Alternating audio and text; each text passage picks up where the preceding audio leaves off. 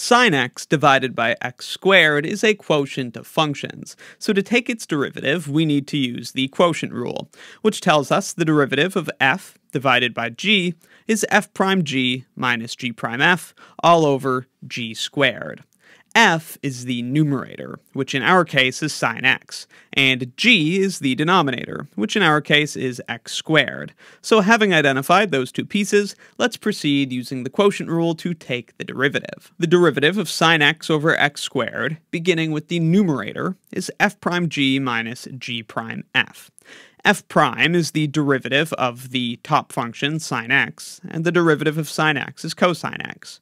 We then have to multiply that by g, the denominator, so we multiply by x squared. Then subtract g prime times f. g is that function in the denominator, x squared. So g prime is the derivative, 2x. Multiplied by f is multiplied by sine x. We then divide by g squared, the denominator squared, and the square of x squared is just x to the fourth because we multiply the exponents. So this is the derivative, now we just have to do some simplification.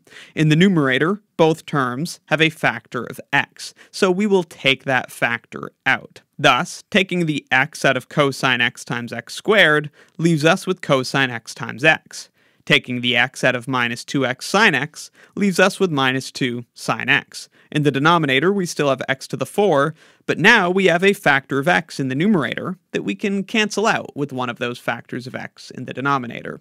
So now we'll have three factors of x in the denominator. And that gets us here to our final answer. The derivative is x cosine x minus 2 sine x, all divided by x cubed. Let me know in the comments if you have any questions, and be sure to check out my Calculus 1 course and Calculus 1 exercises playlists in the description for more.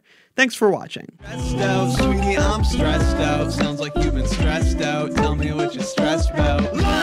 Stressed out, honey, I've been stressed out lately. Don't know what's what, don't know what I'm stressed about. Stressed out, sweetie, I'm stressed out. Sounds like you've been stressed out. Tell me what you're stressed about.